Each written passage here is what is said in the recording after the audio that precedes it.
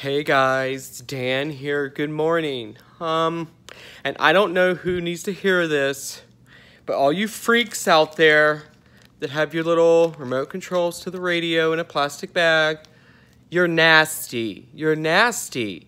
people like Dan, that's because, you know, in the kitchen, they're cooking, don't want to get their hands dirty. Excuse me, this was in the bathroom at my relative's house.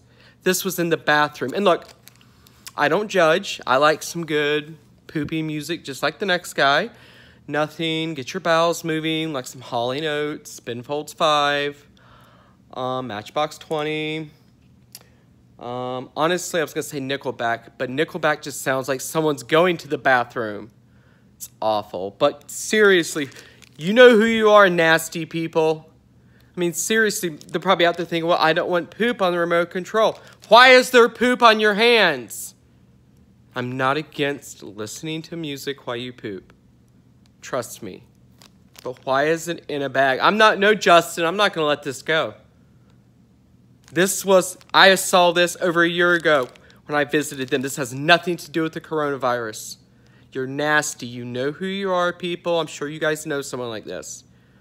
Yeah, it's in the kitchen. No, this was in the bathroom.